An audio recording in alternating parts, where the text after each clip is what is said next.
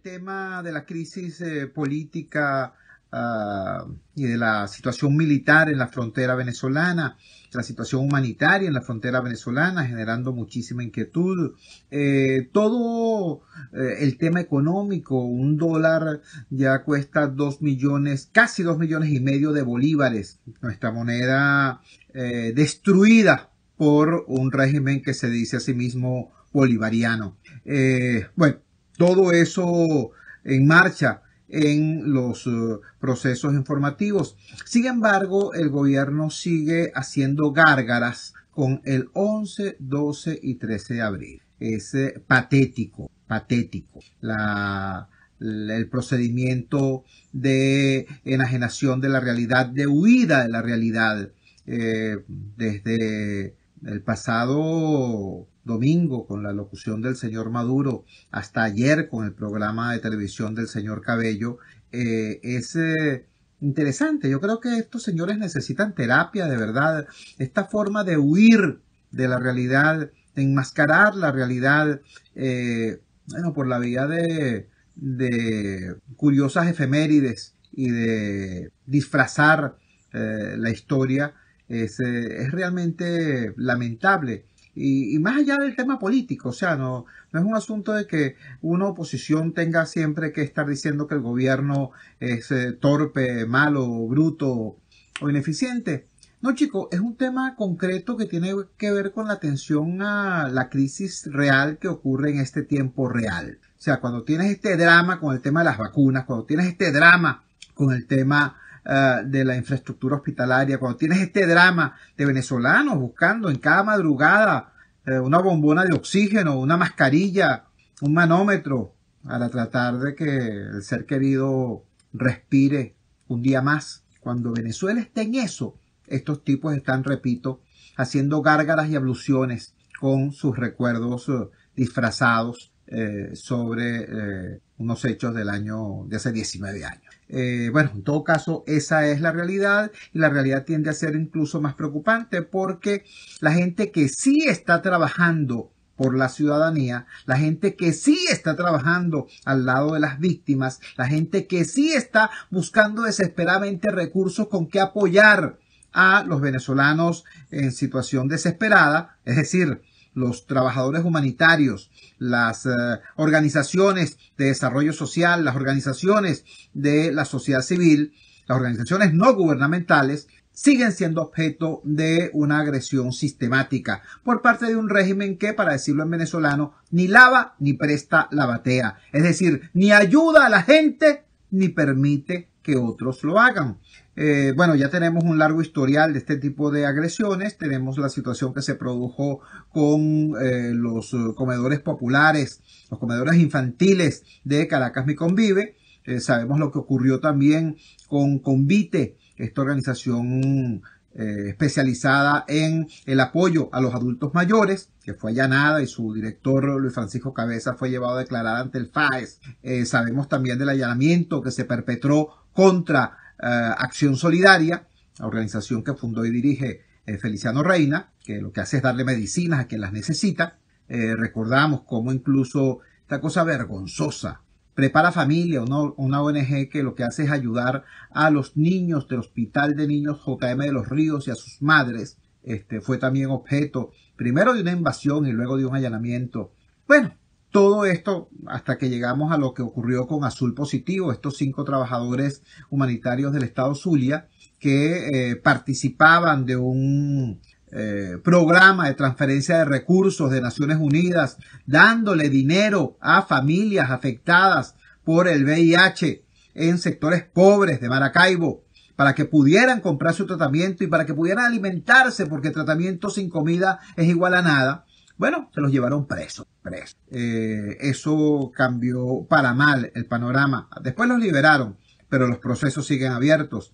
Y hablando de procesos, entonces en ese contexto surge una providencia administrativa, es decir, una norma sublegal que obligaría a las organizaciones no gubernamentales a inscribirse en un registro ante el régimen, ante el gobierno y a mostrar a ese eh, eh, órgano eh, tanto sus fuentes de financiamiento como los beneficiarios de su trabajo. Explico lo siguiente para que quede muy claro que no se trata de ningún tipo de fuero o privilegio que estén pidiendo las ONG. Eh, la inmensa mayoría de las ONG que han podido registrarse, hay que decirlo así, que han podido registrarse, porque desde hace ya bastante tiempo, desde hace años, los registros no procesan las eh, solicitudes de registro de organizaciones no gubernamentales y ni siquiera las actualizaciones de sus estatutos de fundación, sus documentos de registro inicial. Eh, pero las que se han podido registrar son organizaciones, bueno, que cumplen con sus normas y rinden sus cuentas este, y cotizan ante los organismos que tienen que cotizar, etcétera.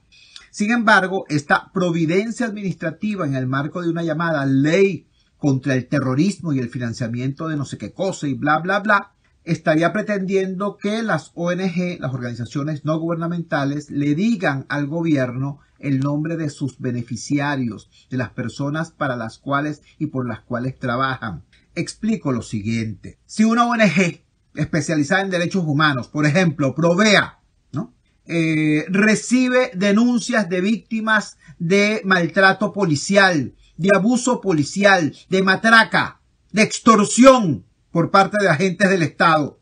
Ah, ¿usted cree que sea ético que venga, provea y llame al Estado y le diga, ah, mira, por cierto, aquí está fulano y fulano denunciando que estos policías los están amenazando, que este lo está extorsionando, que aquel le está quitando dinero, que aquel fiscal es corrupto, que aquel policía es eh, un jefe de banda.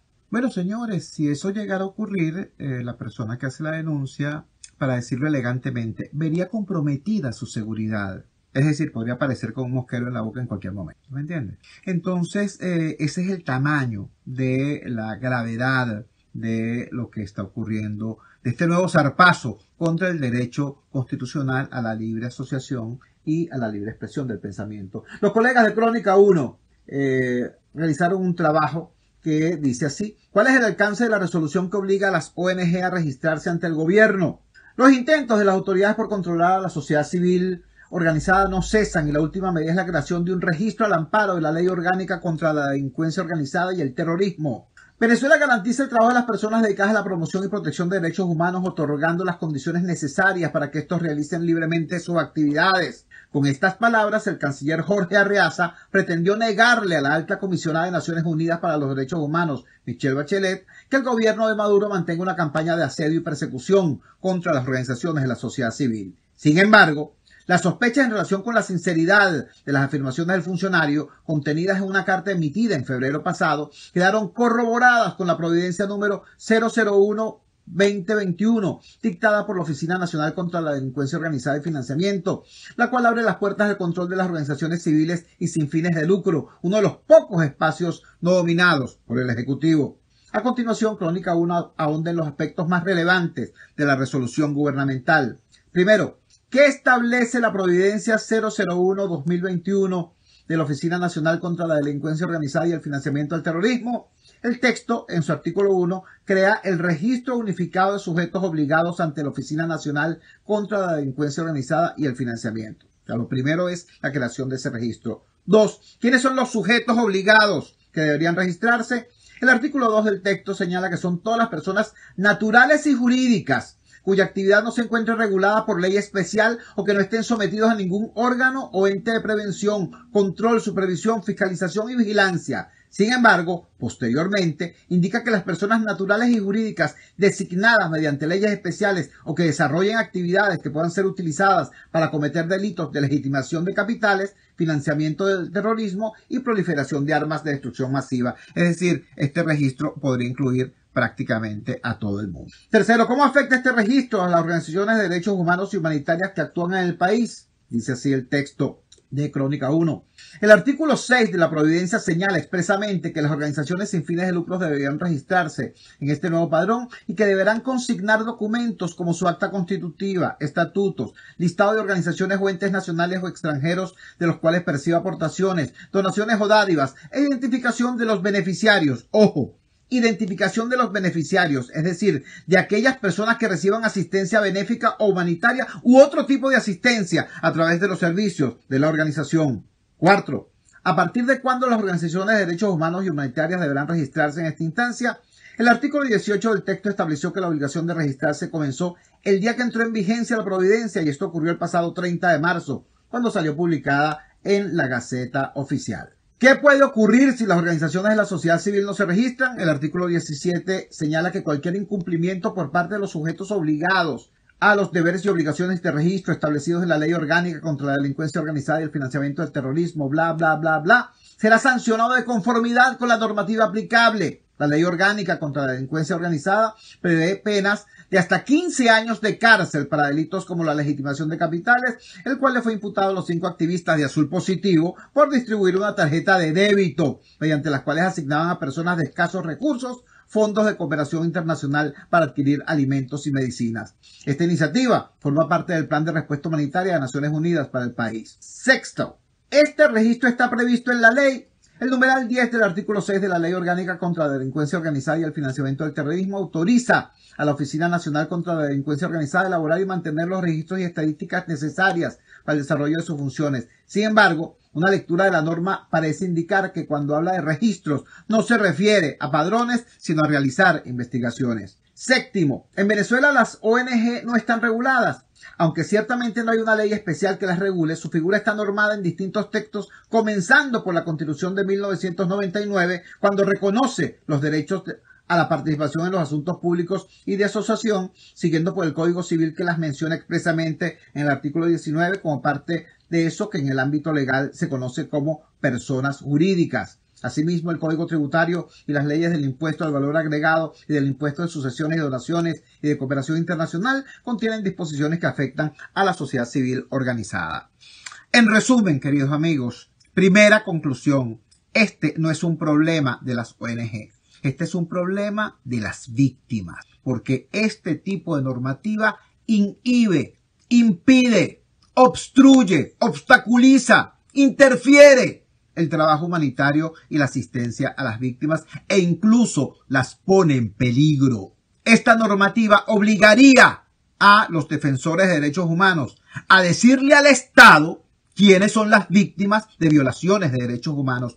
Debo recordarles lo siguiente, yo sé que esto parecieran tecnicismos a veces, no lo son, son esencia. Explico. No cualquier acto de violencia es una violación de derecho humano. Cuando un sujeto agrede a otro sujeto, eso es violencia. Eso puede ser delito incluso. Pero quien viola los derechos humanos es el Estado. Quien perpetra una violación de los derechos humanos es el Estado. Así está tipificado. ¿eh?